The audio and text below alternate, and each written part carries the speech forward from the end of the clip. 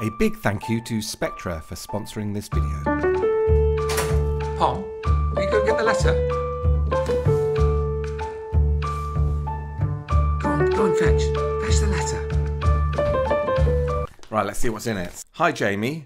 We'd really like to see you try and recreate the Nike.com website in just 30 minutes using the Spectra blocks. On the left is my website. It's blank. All I've done is installed the free Astra theme and the free Spectra plugin. On the right is the Nike.com website that I'm going to try and recreate in 30 minutes. Let's go. So I'm going to start by adding some pages along the top here.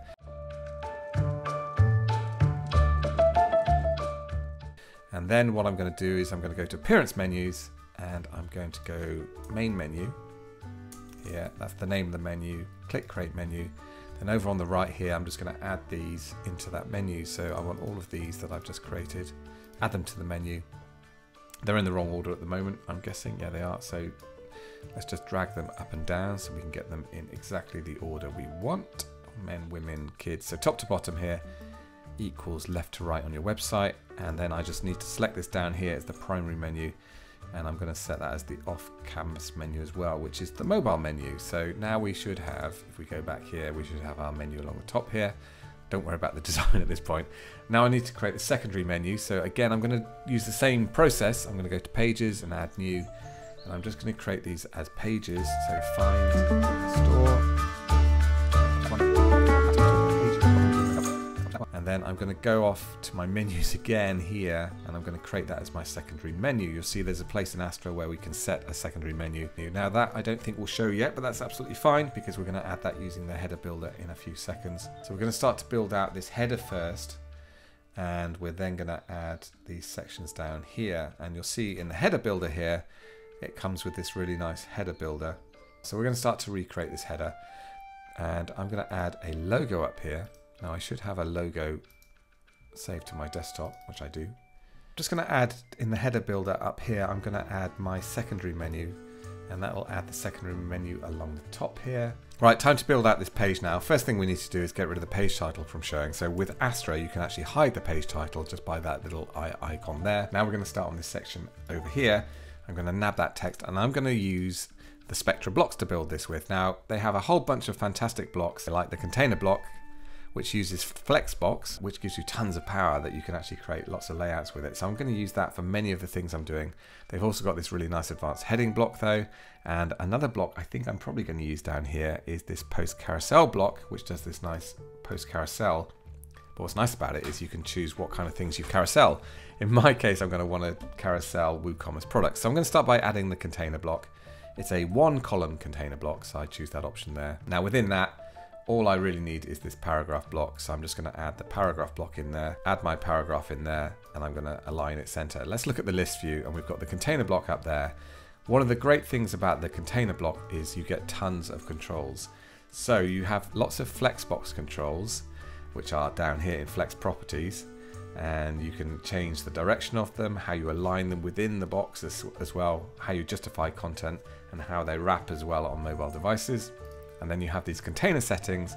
So by default it'll be full width. Full width is great because we want this grey bar to stretch all the way across the page. And again with this in the container block you can add a colour, you can add a gradient colour, you can add photo or you can add a video. So I've just added this light grey colour to my container block up here and there you go, there's the background for it. So now we have one block the container block. Within there we have the paragraph block. It's time to move on to this section down here. Again, I'm going to use a container block to house all this stuff today because that gives me control over the width and a few other things that we might need.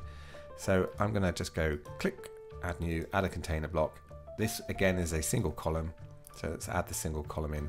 We're also probably going to use margin a little bit in this as well, I think. So I'm going to add a block here. Now there is also a cool block that they have in Spectra called the heading block. This gives you more control over your headings than you would normally get. So I'm going to add this into my page, paste my text in here, and I want to change the font. And that's one of the nice things you can do with the heading block. So you can change the typography. So I'm going to guess at this. I'm not going to get particularly close to it. I'm going to use Poppins. You can also change the font weight here. So we're getting close. We want to change the alignment of this as well in a second, but we also want to, I think, change the size of it.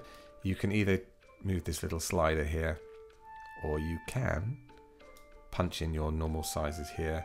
And you can also do things like change the letter spacing, all sorts of stuff that you might want to think about doing as well. That's okay for now. And then underneath that one, I'm just going to add probably just a paragraph block and just hit a paragraph block in there because that's all we need. And I am going to make that paragraph block bold. Right, and under this I'm going to add the Spectra buttons block, which is really cool. It gives me lots of controls. It'll just add it in for me. But I can style them. I'm not going to link them, but if you want to link them, you just click on them and you can link them. But I can change the styles of these. So for example, I can change the background color and the border. So let's add a little radius to each of these, maybe 20. What's nice about this is well, you can copy the styles between them just very easily like that. So underneath here, we're actually going to add another container block. So let's click on the plus sign. We're going to use the container block. For this video, it's a single column. We're going to add some margin above it. So you see, you're to add some margin. I'll just add a little bit of space there. But why we really love this is because we can, in style, in background, we can add a background color, gradient, image, or video. We want a video. Now there's a couple of nice things here. A minimum height. So we can actually set a minimum height for my little video there. It's full width, so that's kind of cool. But what we can also do in advanced here, we can actually have responsive conditions. This means we can decide whether this shows on a tablet or on a mobile. I'm going to say I don't want this to show on a mobile phone because I don't want to use up people's mobile phones bandwidth when they're viewing my website. So to recap, my website that I'm building from scratch is over on the left. The official Nike website is over on the right. They're not identical, but I think mine looks pretty great actually. I'm pretty happy with it so far. We need to move on to this section down here with this lovely post carousel and I have an idea about how I might accomplish that using the Spectra blocks because there is a block comes with Spectra called the post carousel block which I've seen before which is this one here. Now by default when I click on it it's going to bring in your posts but actually in the settings over here you can tell it to bring in your products. You see I can say what post type do we want I don't want posts, I want products, and that's WooCommerce products. I've pre-installed WooCommerce and I've pre-installed some dummy products. And there we go, there's my products coming in. But what's really nice about it is you can configure it. In carousel down here, you can actually change how it behaves, which is cool. I'm okay with that at the moment, but in content, you can actually turn off what you show. So we want to turn off everything essentially, the excerpt, everything, and also the read more link. All we want is the little photographs that are now carouseling across our page. Right, for speed, I've just duplicated the existing block up here. I do want to make a couple of changes actually because at the moment my post carousels are auto sliding and I don't actually want that to do. I don't want it to auto play for either of them. So I'm going to turn that off here in autoplay settings. In this one as well, I've just added quickly to show the title and then I styled it here in here where I can actually set the font size here. Now I've gone a little bit small so it's got a bit bigger and that's my title. I don't think I can show the price, but that's okay. I've got close enough. We want to move on to this section down here. Let's make this wider so you can see what this actually looks like. And for this, we're really going to utilize the Flexbox properties of the container block. So all we need to do is add the container block as we've done before, but this time we're going to choose the three column layout which is this option just here. And there we go, it's set it. But if we look at actually what we've built in the list view, we've got the top level container, but three containers within it. Why we want to do that is because we can set a background image for each column, each container block. And then we can use the Flexbox properties to do, do things like align the buttons. There's just three things to do to get this layout working. The first is we need to add a background image to each container. So you click on style here and then click on the little image icon and choose your photo. You'll see that's very squishy and that's because Flexbox or that box will collapse to the size, the default size. So we need to actually increase the size of that. So we come to general and you'll see in general we can set a minimum height. So it's really up to you what height you put in. There's a very useful setting when you're doing your other containers, which is this one, equal height. If you use that, then all the other containers will be the same height as each other. And all that's left to do is to add these little buttons into that container block. Now this is one of the big advantages of the container block using Flexbox because we can position elements within it. So I'm just going to add the standard buttons block in here like so and I'm going to go shop women's and the bit I really want to show you is this ability in Flexbox to actually control where that goes within it. So we come down to where we go, let's go general and flex properties. This is the magic source here. You can see here we can justify content. So I could align it at the bottom there. So let's change the style of it quickly. So we want that sort of off-white color and we want the text to be black. So this is where we're at. Mine's on the left, looking pretty good. I'm really happy with it. The Nike website, the official website's on the right. Let's scroll down. That's not exactly the same in terms of style, but you know, in terms of functionality, and they both look fantastic. I think. I think my site's looking really great, and I've got those boxes working as well. For this section here, I'm actually going to cheat a bit. I'm going to use one of our plugins, which is Storefront Blocks, which and we have a block that comes with Storefront Blocks called the category block. So I'm going to try and find that here. I've added it to this site. It just lets you add your categories in a nice way because I couldn't find one in the core WooCommerce blocks that does it nicely. So these are all the blocks that come with storefront blocks and I just want the square grid there. And that should load in my categories. Now it's not identical to the Nike site because it doesn't carousel, but it looks pretty good and it does the same thing. It will link off to those categories. And then we've just got these two other sections. For this one, I'm just going to use another container block with a flex box. And this one, I'm not sure I can do that. So I might just ignore that one. And then that's just four columns. So I'm just going to finish those off now. Let's start by this section here. So again, I'm going to add a container block. Let's add the container block in. The container block does so much heavy lifting. And for this one, I just want two columns. So I select that option just there.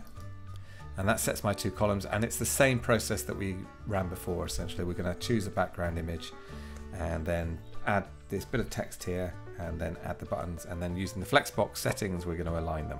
So at this point, my 30 minutes ran out I didn't quite get things finished. I'll show you the result in a minute. I'm pretty happy with it, but this is the boxes I've actually just created. And I did it in exactly the same way. I just created a container block with two containers within it, set the background image, added some text on the button, and then aligned it. And for this section down here, I kept things really simple. You'll see uh, this section here. Basically, it's just four columns. I'm pretty happy with things, so things have gone pretty well. I'll probably give myself a seven and a half out of 10. The Nike site on the right, I think mine looks pretty cool. There's my header. I could probably give a little bit more space above and below it. I've got the video working nicely, again using the container block. Then I've got this really cool post carousel working nicely and again this is great because you can use posts or custom post types I think but in this case I'm used WooCommerce products. I've got this section working nicely down here. It looks very similar. If I expand theirs a little bit, you'll see it's very similar. And again, that is using the container block that comes with Spectra. It's really, really powerful especially because it supports Flexbox. It's built using Flexbox, so you can do cool things like that in terms of the alignment. This section I cheated a bit with using one of our plugins. And then down here, again, we're using the container block that comes with Spectra, super powerful.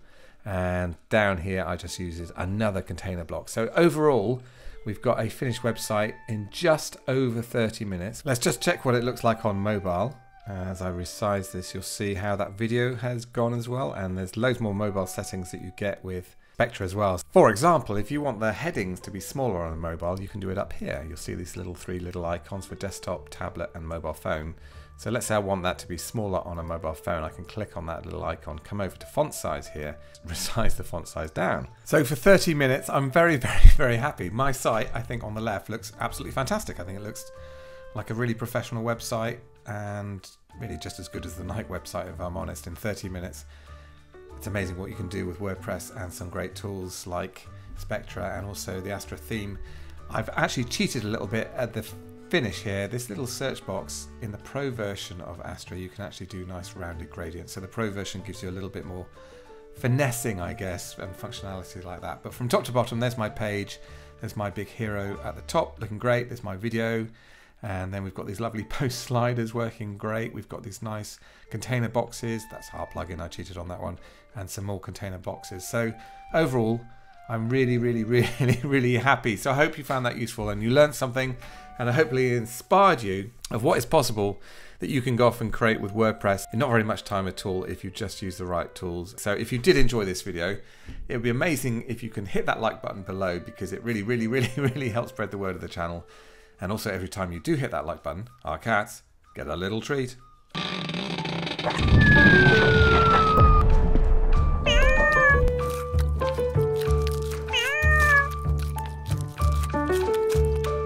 So thank you again for watching. If you want to see more videos like this, just hit that subscribe button below and you'll be notified every time I release a new one. Keep well, and I'll see you soon. Bye for now.